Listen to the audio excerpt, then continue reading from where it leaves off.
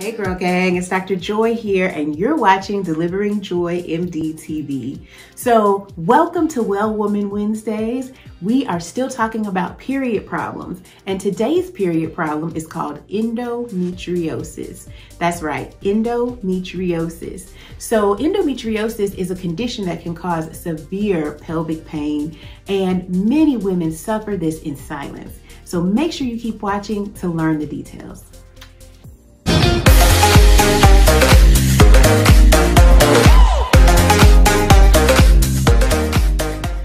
Gang. So when we're talking about endometriosis, we're talking about a condition in which the cells that should be on the endometrial lining or that lining that's on the inside of our uterus where our period actually comes from, these cells are actually places that they shouldn't be. So basically, this means that these cells have somehow found their way outside of their home and they have taken up residence in other places. The crazy thing about this is that just like the cells on the inside of the uterus, these cells will bleed when it's time for us to have our cycle. So how do those cells get there? How did this happen? We have two theories about this. The first is what's called retrograde menstruation. So remember the endometrial lining sheds off and those cells come out through the vagina onto a tampon pad, period panties, whatever you use. With endometriosis, we think there may actually be some retrograde uh, bleeding. And this is especially uh, for women with really heavy prolonged periods. Sometimes there is a, um, a backflow of bleeding actually out through the fallopian tubes. And so those endometrial lining cells get all up in here where they shouldn't be. I once had a patient with endometriosis in her lungs. So there is another theory, and that is that the blood vessels that uh, line the uterus are actually allowing the endometriosis cells to escape and to migrate to other parts of the body where they should not be.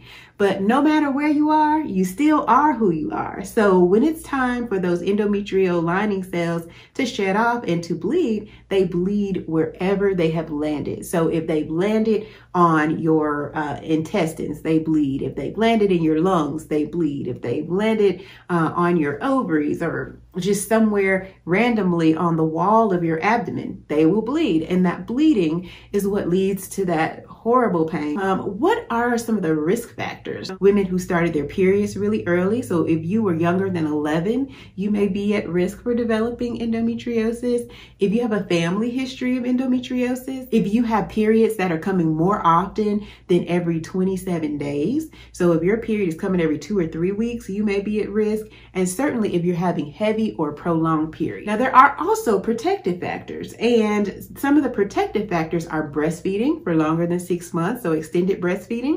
Uh, if you are exercising at least four hours per week, you're at decreased risk for endometriosis. If you um, are eating a healthy diet that's heavy on plant-based foods, that also decreases your risk. Endometriosis is an inflammatory process, and eating a healthy diet and exercising decreases inflammation. So endometriosis can be really difficult sometimes to um, diagnose because it can present with a wide variety of different symptoms.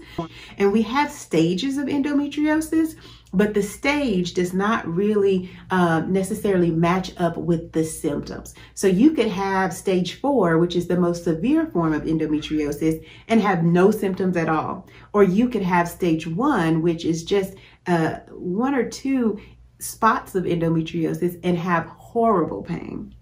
So the symptoms don't necessarily match with the staging. So you may have cyclic pain, which is only at the periods. Women can have chronic pain, which is all throughout the month. We may see women who have painful sex, uh, and that's usually on deep penetration with endometriosis. We see women who develop ovarian cysts and have, you know, really bad pelvic pain. We also see women who may have uh, pain with their bladder emptying or filling. We see women who have pain with having a bowel movement. So there are just kind of a wide variety of symptoms and you could have no symptoms at all and have the worst endometriosis. How do we evaluate folks? Transvaginal ultrasound, again, is one of, one of our favorite modalities. So if you're GYN, you love a good transvaginal ultrasound. And transvaginal ultrasound helps us look for signs of endometriosis, but it's not very sensitive. The real gold standard diagnosing endometriosis is really what's called a diagnostic laparoscopy. And that's where we make a small incision and put in a camera and actually look inside your belly to look for those endometrial implants. And so the, those cells that should be in the endometrium that have landed somewhere else, we're looking for those. And they usually have a really like dark purple appearance. Sometimes they can look like powder burns. So there's a wide variety. And so it's really important that you're dealing with an gynecologist or a surgeon who's really who really knows where to look and what to look for when you're having this sort of diagnostic surgical procedure. Diagnostic laparoscopies are done in the operating room under anesthesia. So don't worry that you'll be going to your gynecologist's office and getting this done in the office. It's definitely done under anesthesia. Another option that I often offer for my younger women um, who maybe are still in their teens or early 20s because you know surgery is a big deal and sometimes even having a transvaginal ultrasound can be a big deal. Um, and so I also will do what's called an empiric trial of therapy. And empiric basically means we think we know what it is, but we haven't really fully diagnosed it. So we try a therapy, and if the therapy works, then our theory was probably correct. So we may use like a birth control pill and see if the pain gets better. That is, is also an option for those women who really don't want invasive procedures. What do we do about it once we know that you have endometriosis? Well, definitely treatment is indicated. The first thing that um, that we normally start with is non-steroidal anti-inflammatory drugs or NSAIDs. And we want to be clear about NSAIDs. I have a lot of women that I've seen that have been started on narcotic medications like Percocet, Vicodin, uh, even pain patches, you know, and narcotics have not really been shown to help improve endometriosis pain. So you want to go for NSAIDs, not narcotics. In addition, hormonal birth control. So your birth control pills, uh, Depo-Provera or uh, Depo-Lupron is another medication uh, that can be used. Danazol, um, you have the progesterone containing IUD like the Mirena or Liletta. You can also use some of the newer medications um, that have come out that are showing lots of promise. And so I think it's really important that you sit down and have a talk with your healthcare provider and kind of go through your options and choose a medication treatment. If you have failed medication therapy, if you've tried NSAIDs, if you've tried hormonal birth, birth control, um, that is a point at which you may need to move on to a treatment procedure.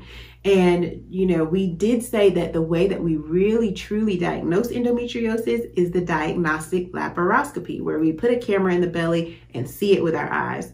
Well, during this procedure, there are options to go ahead and try to remove those endometrial implants. Now, remember, I said that these cells can land anywhere inside of your, your, your abdomen and torso, pelvis, uh, we've even seen endometriosis in the brain. So they can go anywhere. Um, and so sometimes you could even have superficial endometriosis under your skin.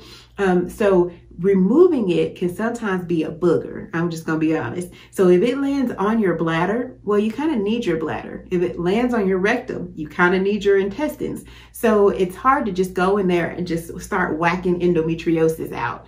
You have to be uh, very skilled and careful about dissecting the endometriosis away. Uh, so, you know, I often, um, you know, for these cases, these are, are usually cases that take a lot of time and a lot of skill and effort. So you want to make sure sure that the surgeon that you go um, for is someone who uh, it does a good job with this.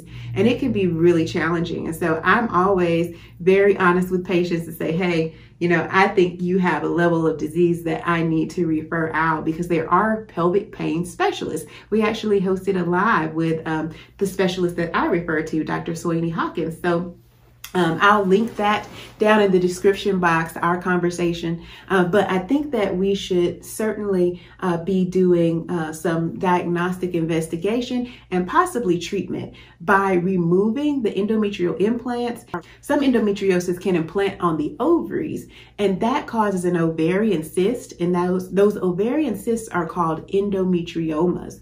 We certainly want to remove those um, as much as possible, especially in a woman who is trying to conceive, because that has really been shown to help decrease infertility in women who have endometriosis. Hysterectomy plus or minus removal of the ovaries is also uh, a, a surgical treatment option.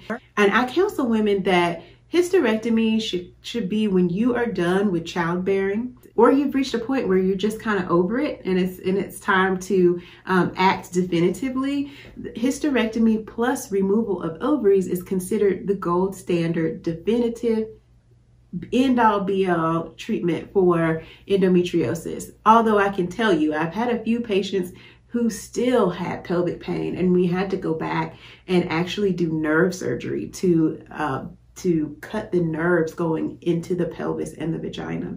And so there are some women who just have such severe disease that they're going to need um, some sort of pain relief by whatever means necessary. Um, certainly, hysterectomy with removal of the ovaries is not the place that you start, but it is uh, considered the definitive therapy. I really urge women to consider all their options though uh, because hysterectomy is, is definite and you're not going to be able to get your uterus back. So if there is a way to save your uterus and still have quality of life then I, you know, highly recommend exploring those options, doing the work of changing your diet, exercising, um, and and taking medications regularly if necessary um, is really certainly um, the way that I would start. And then laparoscopy uh, for removal of disease or even diagnosis of disease would be the next step if medications, diet, exercise, uh, and lifestyle factors have um, failed us.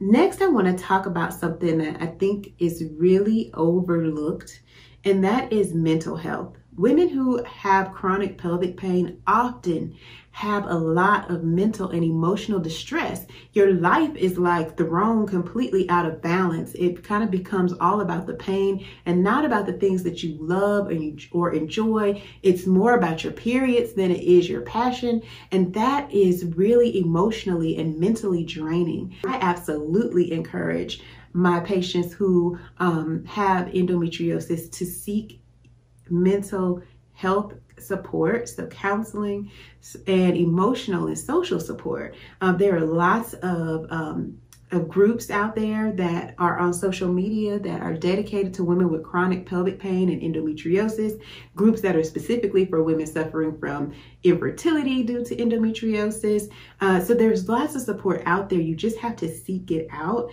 And then really talking to your family, the people who are in your circles who are affected by the fact that maybe two or three days out of the month you literally cannot get up and go you need to really be open and honest and seek out that social, mental, emotional, and even physical support. Sometimes you need somebody to just go, you know, get you something to eat. You just can't get up.